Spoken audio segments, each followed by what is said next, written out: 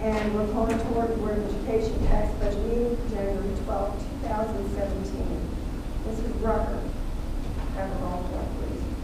Ms. Arnold? Here. Ms. Hunt? Here. Mr. Morrison? Here. Mr. Regano? Here. Mr. Taylor? Here. Motion carries. Okay, the next item on the agenda is approval of the agenda and we need a motion, a second to approve the agenda as presented. Second. Any discussion? Um, We do a um, tax budget for the county auditor in this district. Some counties have um, dispensed with the tax budget. Uh, Montgomery County still, I'm sorry, uh, Greene County still do a tax budget, Montgomery County we do not. Uh, Ohio Revised Code Section fifty-seven and five point three requires that the district publish notice that the tax budget will be presented, and we publish that in December, and our hearing will be um, today. And then we also keep two copies of the budget on file for uh, public inspection for at least ten days. And that's what's required when our auditors come in to do our audit annually. They always make sure that we have proof that we publish, publish this in the paper, and that we have um, these tax budgets ready. Um, What you're gonna see in front of you on page one is Schedule Two.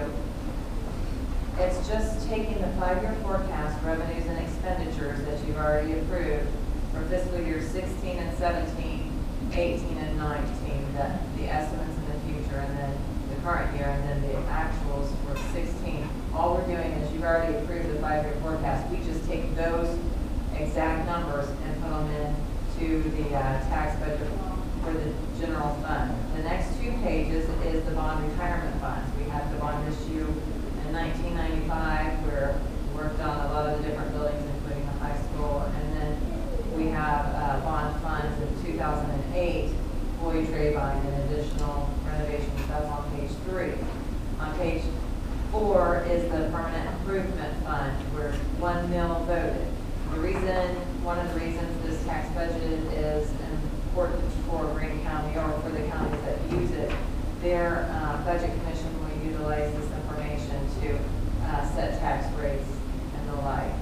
Um, Typically, I will tell you, and it'll be in the next agenda for the next meeting, for our regular meeting, but um, typically, we have rates from both the county uh, auditors, you know, Montgomery County and Greene County. We've been promised about three weeks now that we would have Greene County's tax rates. The past several years, we have been for our meeting, our organizational meeting, but um, this year we do not. So I just checked the um, website today, and they still don't have their tax rates ready. However, we do have the Montgomery County tax rates uh, available for you to approve. So when Greene County gets theirs finished, we will bring them to you for approval. But, so that's what the tax budget's about.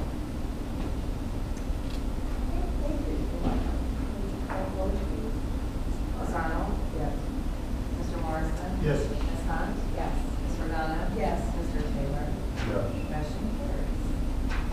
Okay, the next item on the agenda is new business, I need a motion and second um, to approve the superintendent treasurer and approval of the fiscal year 2018 tax budget on which one?